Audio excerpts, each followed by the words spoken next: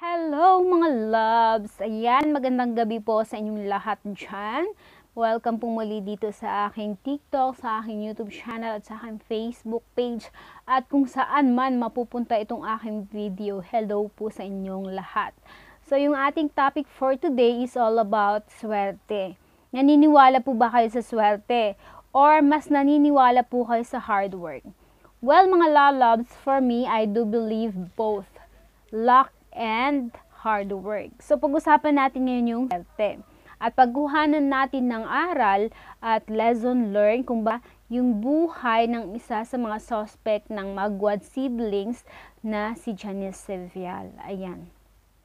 So minsan sa buhay natin, may pinapadala ang Diyos para tayo maiahon sa kinalag- kinalalagyan natin.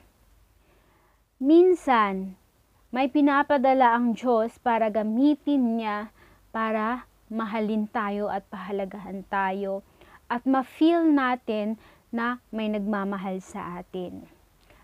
Pero, most of the time, napaka-ungrateful po natin.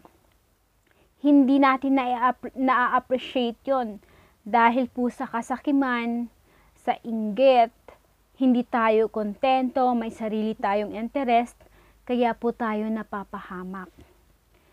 Kung napanood niyo po yung nangyari sa Magwad siblings and sa buhay po ng uh, suspect, ang dami din niyang pinagdaanan.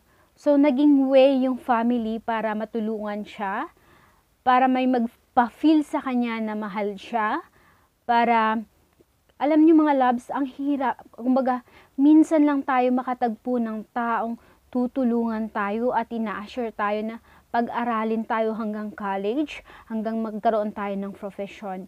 Bihira lang makatagpo dito sa mundong ito and they are one in a million. So, ang bottom line po dito is, pahalagahan po natin yung mga taong yun, ba? Swerte na yun eh. Pero anong nangyari? Pinakawalan niya, sinira niya, napaka-ungrateful niya, hindi niya na-appreciate yung ginawa ng mga tao sa kanya. Tinuring siyang anak, tinuring din siyang mga kapatid ng mga bata. Pero anong ginawa niya, 'di ba? Sinira niya 'yon. So anong mangyayari ngayon, hindi natin alam. Wala na siyang future, 'di ba? Sa ginawa niya 'yon.